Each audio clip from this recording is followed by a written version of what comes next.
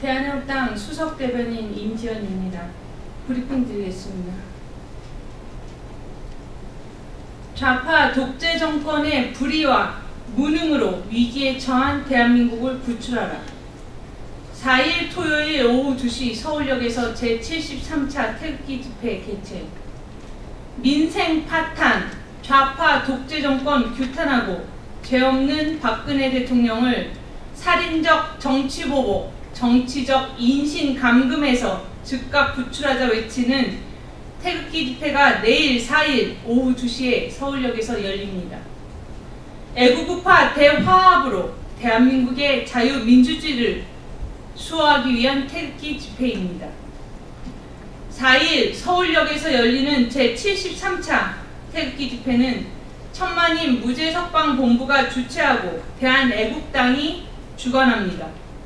내일 집회는 민생 파탄, 좌파 독재 규탄과 애국 우파 대화합으로 자유민주주의 수호를 주제로 하여 서울역에서 일부 집회가 오후 2시에 2부 집회가 세종문화회관 앞에서 개최됩니다.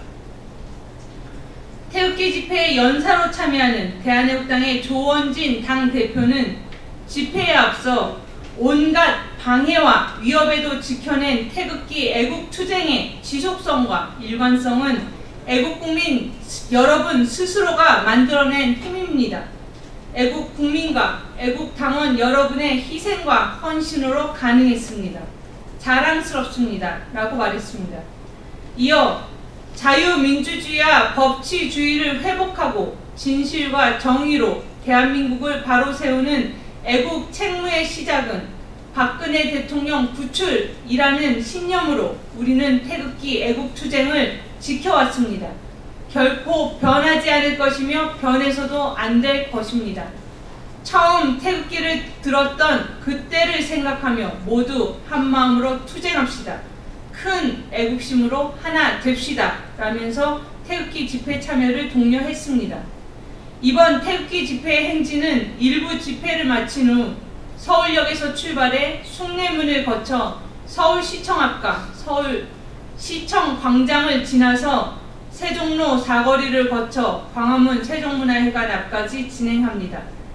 내일 오후 2시 서울역 앞에서 열리는 태극기 집회에 대한민국의 자유민주주의와 박근혜 대통령을 구출하고자 하는 애국국민 모두의 뜨거운 참여를 바랍니다. 대한애국당은 대한민국을 허물고 있는 무능한 좌파 독재 정권의 불의에 대해 당당하게 투쟁할 것입니다. 모두 함께 힘을 모아 투쟁합시다. 2018년 8월 3일 대한애국당 수석 대변인 임지연이었습니다.